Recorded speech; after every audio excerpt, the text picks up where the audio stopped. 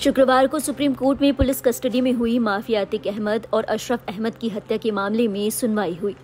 दरअसल इस मामले में जाँच करवाने के लिए अतीक की बहन नूरी की ओर से सुप्रीम कोर्ट में याचिका दायर की गई थी। सुप्रीम कोर्ट ने मामले में सुनवाई करते हुए यूपी सरकार को जमकर फटकार लगाई है। सुप्रीम कोर्ट ने सवाल किया कि अतीक के मर्डर के वक्त कई पुलिसकर्मी उसकी सुरक्षा में तैनात थे। बावजूद इसके शूटर्स ने आके उसे मार दिया। आखिर ऐसा कैसे संभव हुआ? कोर्ट ने यह भी कहा कि ऐसी घटनाओं से जनता का पुलिस पर विश्वास कम होता है। आइए अब आपको बताते हैं सुप्रीम कोर्ट की अहम टिप्पणियों के बारे में। सुप्रीम कोर्ट का मानना है कि ऐसे मामलों में पुलिस की भूमिका भी हो सकती है। सुप्रीम कोर्ट ने कहा कि अगर जेल में या पुलिस की हिरासत में रहते हुए किसी की हत्या हो तो ये व्यवस्था में लोगों का विश्वास कमज़ोर कर देता है।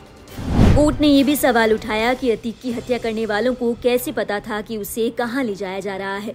सुप्रीम कोर्ट ने मुकदमे की स्थिति जानने के लिए यूपी सरकार को चार हफ़्ते का समय दिया है।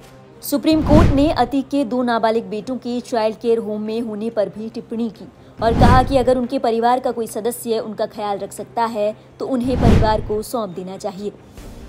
कोर्ट ने कहा कि इस मामले में डीजीपी या अन्य वरिष्ठ अफसर द्वारा हलफनामा दायर किया जाए।